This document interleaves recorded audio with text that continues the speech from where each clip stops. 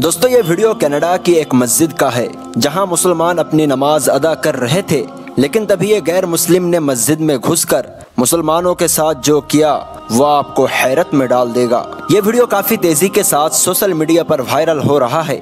Video में लोग इमाम साहब के पीछे नमाज़ अदा कर रहे थे, कि तभी अचानक एक शख्स मस्जिद के दरवाजे से अंदर आता है, जिसके हाथ में एक जहरीला स्प्रे था। वो जैसे ही नमाज़ अदा कर रहे मुसलमानों के ऊपर डालते हैं तो आगे जो वीडियो में हुआ, वो आपकी आँखें खोल कर रख देगा। ये मुलहिद सीधा मस्जिद के दरवाजे से दाखिल होते हैं और दो कदम आगे बढ़ाते ही स्प्रे करना शुरू कर देता है। दोस्तों, ये जहरीला केमिकल थी, लेकिन कुर्बान जाइए कि किसी ने भी नमाज़ को नहीं तोड़ा।